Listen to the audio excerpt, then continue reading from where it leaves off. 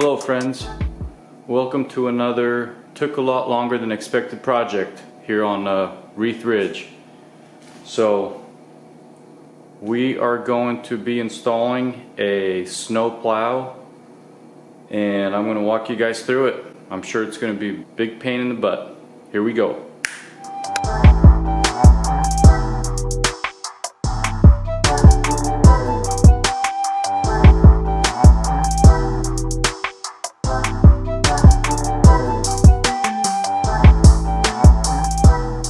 Hello again, YouTube friends. Back at Rieth Ridge with another project. And this time, my Warn all-in-one snowplow system for my 2018 Honda Rancher 420 is finally here and I'm going to install it. Here we go.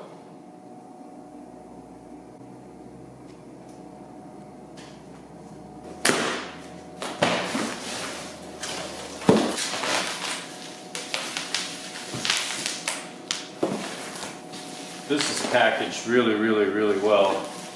Um, every piece seems to be wrapped in bubble wrap, plus this foam layer protection in between all the different layers in the packaging. Right, Ricky? And uh, so it looks like this is part of the mounting bracket, the tube,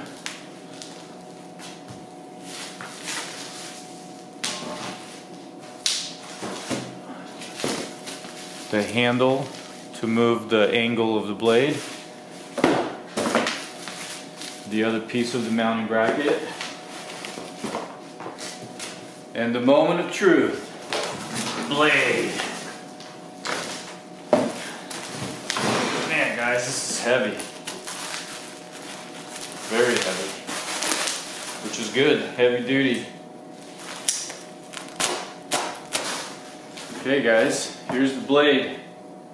Seems to be super heavy duty, which is awesome. It goes like this. They must have put the sticker on it upside down. Oh well. Ah. It's like this. Yeah, they put the sticker on it upside down. I'm gonna return it. This is a bunch of crap. Ha Ha Just kidding. Alright, you guys. Let's put this beast together now. Okay, so what I'm probably gonna do first is place the, the, the main mounting bracket onto the four-wheeler, which is underneath. It's a three-piecer. I'll show you guys here in a minute. And there's some, um, some particular measurements that you have to follow in order to, uh, for the blade to work properly. And I'm sure there's like some warranty guidelines on there if it's not mounted correctly you know, it could void your, your warranty. So there's certain measurement guidelines that you need to follow when you're, when you're mounting this thing. And because it's kind of all in one system, this mounting bracket could be used for many other makes and models of four-wheelers. Um, it just, it takes a little bit of tinkering and making sure you, you mount it right. If, uh, if you guys purchased some of the other Warn systems, you can get brackets specifically made for your four-wheeler or side-by-side or whatever. But um, I went with this particular one and like I said, it just takes a little bit of tinkering to make sure you get all the measurements right and then it should be pretty, pretty simple from there. So here we go. Alright you guys, so this is what you're looking at for the mounting bracket that goes under the four-wheeler. And uh, this guy right here they say this faces the front, this part of it, and it can't be greater than 19 inches away from the front of your uh, very front of of the front wheels. So you might need an extra hand to do this. I'm probably gonna call my son over here to hold like like a straight like a level or something right in front of the of the front tires and then I'll measure back 19 inches to kind of see what what that's gonna look like, where it's gonna land. So that's what I'm gonna do right now.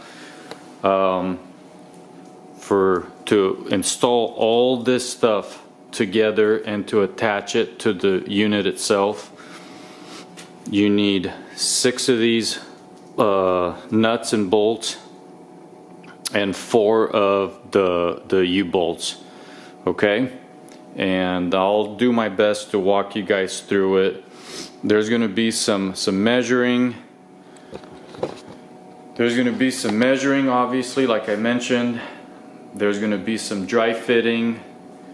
Uh, probably gonna have to bust some holes bust some holes through um, through the skid plate underneath so so the U-bolts can fit in and so grip so just bear with me. Okay all I need you to do buddy just hold this like this. So come over here where I'm at. Yep just like that okay? Sorry. Cannot do this wrong.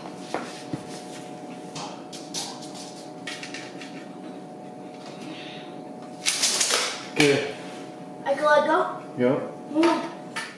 Okay, so I made a mark at 19 inches, so I know that I can't be further back. The front of my bracket can't be past that line. It could be closer to the front, but not nowhere behind that sign. So now I have a point of reference. I'm kind of going to dry fit everything, see where the, my mounting bracket could be and where I need to establish where the U-joints or U-bolts are going to go. You need to make sure that they wrap around the main frame of your uh, of your of your four-wheeler. Here we go. All right, I'm not going to lie to you. That took me a good at least hour to figure out how the heck am I going to install the bracket under the the unit. I ended up really why why it took me so long is I try to do it without removing the bottom skid plate and after about 30 minutes of me messing with that, I realized that I just need to remove it. Here's all the hardware to it. So remove the bottom skid plate and then then it just gives you way better idea on where the U-bolts are gonna fit as you can tell on this Honda Rancher, I put the front U-bolt on these two arms that go, that are part of the main frame. Here we go, that's better. So, U-bolt there and there, that's part of the main frame that comes from the bumper and then it starts like to flatten out under the under the four-wheeler.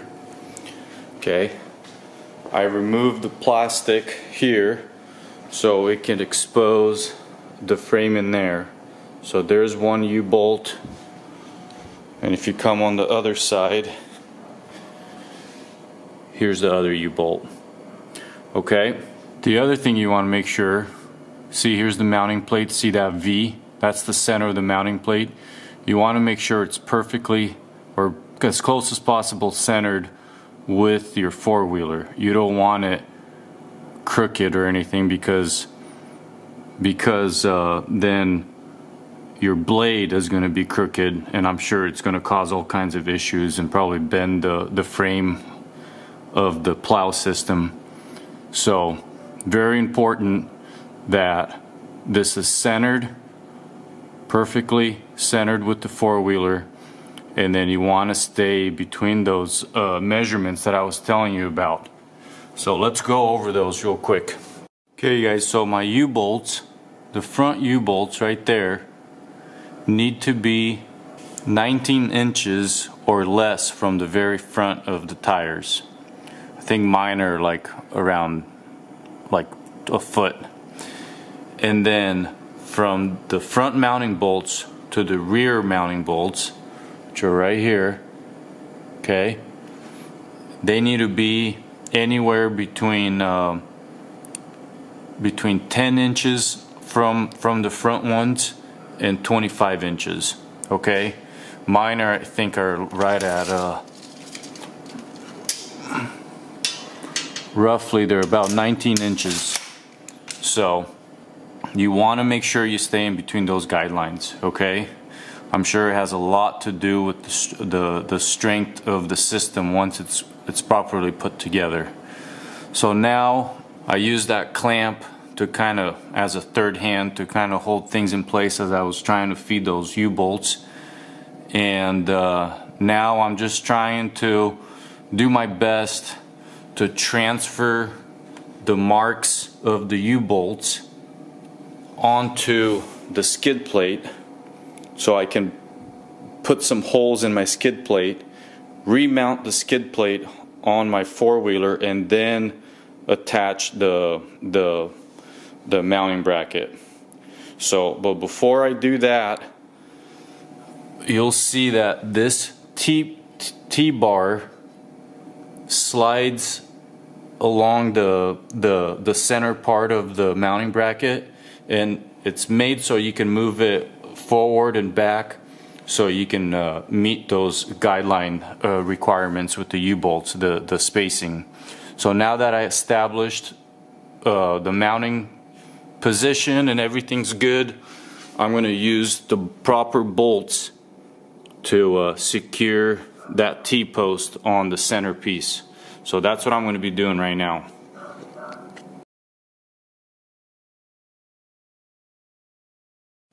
Alright guys, I uh, reinstalled the, the bottom skid plate and I double checked the U-bolts to make sure that they fit the, that the, the, the holes I made for them in the skid plate were in the right place. On some of them I kind of had to adjust them. On two of them I had to re-drill the holes. They were about, about an inch off, which wasn't a big deal. And then on the other ones I just had to make the holes a little bit bigger. So that's good, I got that done, and now all I have to do is make sure that I torque these to the right poundage, and then I'm going to install that underneath the four-wheeler. Alright, so I got these super tight, and uh, now we're going to attach this to the quad. Here we go. Okay, you want to make sure all the U-bolt bolts are tightened really good. Okay, already did the back. And now, whew, that kind of kicked my butt. I guess that's where uh, it pays off when you don't go with the universal one and you actually buy the exact same bracket for whatever four-wheeler you have. I mean, that took me hours to do. Jesus. I think I'm going to start calling my projects projects that take longer than than they should. Or I should say projects that take a heck of a lot longer than they should. I guess that's just part of the whole DIY thing. But yeah, so I got this bad boy installed. It's nice and centered. Yeah, now we need to put the blade together. That should be fun. Actually, I think that's going to be, hopefully I'm not jinxing myself, but I think the blade part is going to be the easiest part. You don't have to crawl under the four-wheeler you only have about 10 inches of clearance. So here we go. Alright you guys, so for the tube, you need to obviously get the tube out and then you need all these parts here. Got eight washers, four of these um, bolts, four nuts, all this stuff, right? So looking at the instructions, it goes like so. You put this guy right here. Then you put the thicker piece right here and you match the holes. Okay. Then you put the thinner piece like so. Then you get this guy, turn it around, have this point point away from where the blade is going to be, right?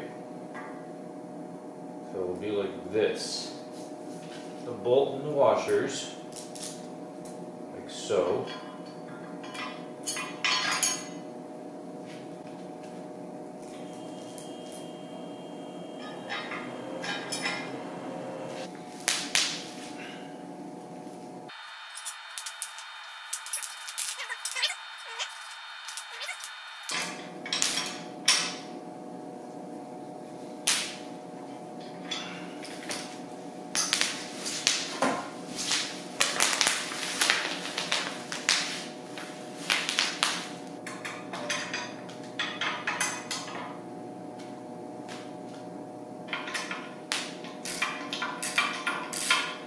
Let's see, next is the spring.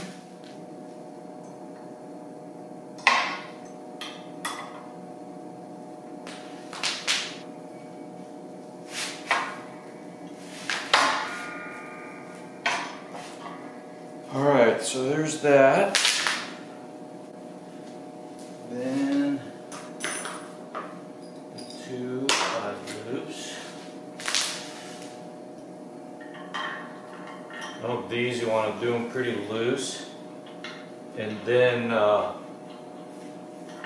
these are the tensioners for the big springs for the for the blade, and uh, you kind of want to you don't want to cinch them too much. You want to put the, the springs on and then adjust them. Okay, now I'm installing the wear resistant uh, blade. Uh, it's just to protect your main blade and you could actually replace it. You could um, buy a replacement from, from uh, Warren. So these are actually, that's really easy to install. You have these, all these bolts, nuts and washers. These guys right here. Just put them in, line up the holes. Put the washer. And follow it with the nut. Like I said, all the nuts are uh, uh, lock nuts. For this whole install.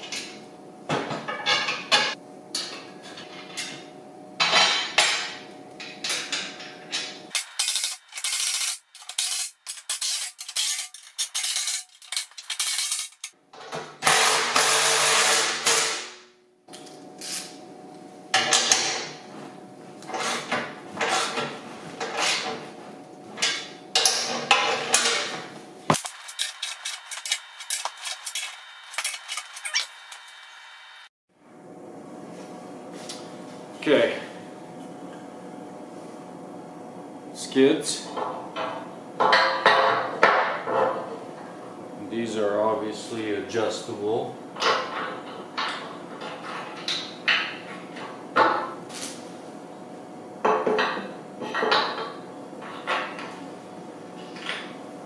Now I'm gonna flip this bad boy over.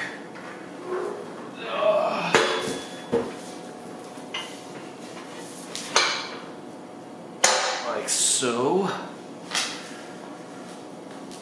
I did put those pegs pretty high up. It's alright, we'll adjust those. Okay, so now we're gonna install the tube. So I just put this guy in right here, and then on the other side I did the the same bolt just on, on the other side. And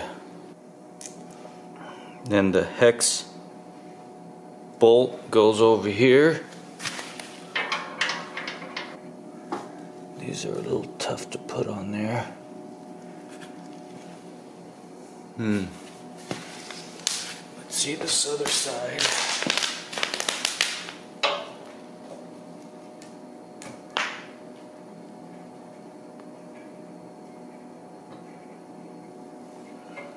Yeah, that's a pretty big one. I don't think I have anything to work with that.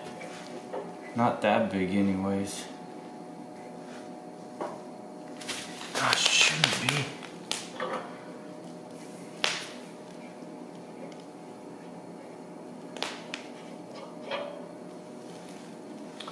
Think it's because of the powder coat. Ah. Of course now I can't undo this one.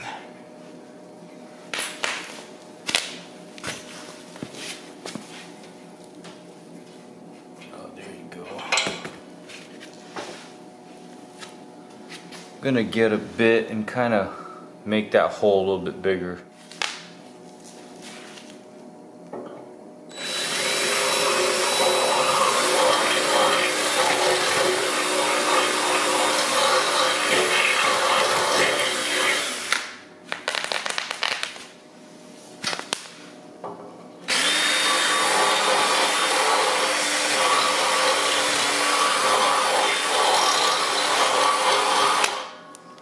Pretty sure it's just the powder coat. Just added just enough. Yeah. Just enough material on there where it made it pretty tough.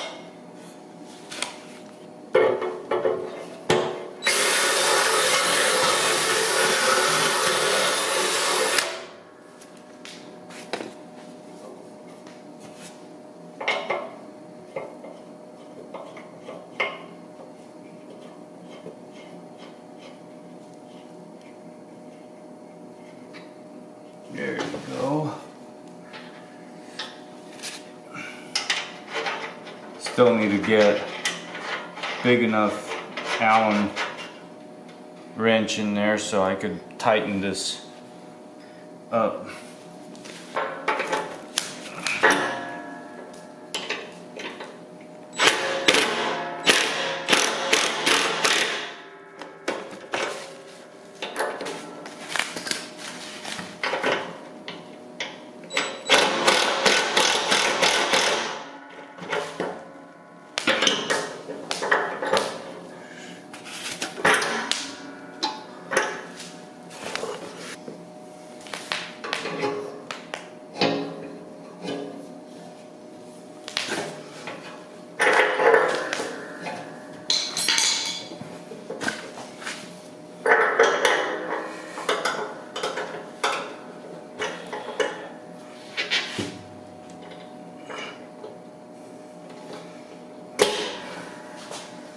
Wow.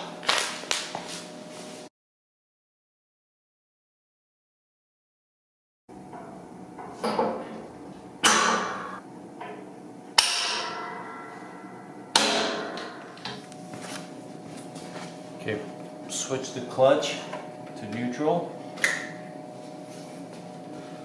Pull this bad boy out.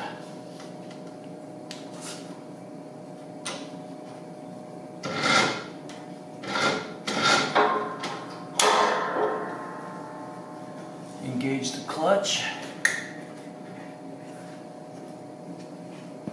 Turn the key.